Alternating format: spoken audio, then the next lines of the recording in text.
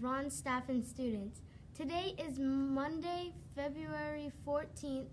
Happy Valentine's Day to all of you from us at Rahn TV3 News Studio. We hope you enjoy celebrating this lovely day together. Our medallion hunt continues. Please listen carefully to clue 2. Day two of the hunt is underway. I wonder if someone will find it today.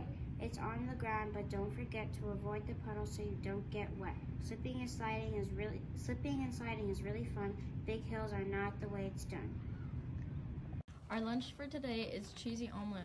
Order a, P- order a PB&J or turkey sandwich if you would like that instead. Tomorrow morning our school store is open.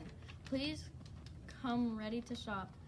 Student council members get to school a bit early to work. We have DEAR time tomorrow. Mr. Rob is r- reading to many classes, and it is Read Your Shirt Day on Friday. Enjoy a good book today. Rahn friends, as you begin your day, let's make sure be let's make sure to be curious, be creative, and achieve your goals. Please stand for the Pledge of Allegiance. I pledge allegiance to the flag of the United States of America and to the republic for which it stands, one nation, under God, indivisible, with liberty and justice for all. Thank you and have a great day. Happy Valentine's Day!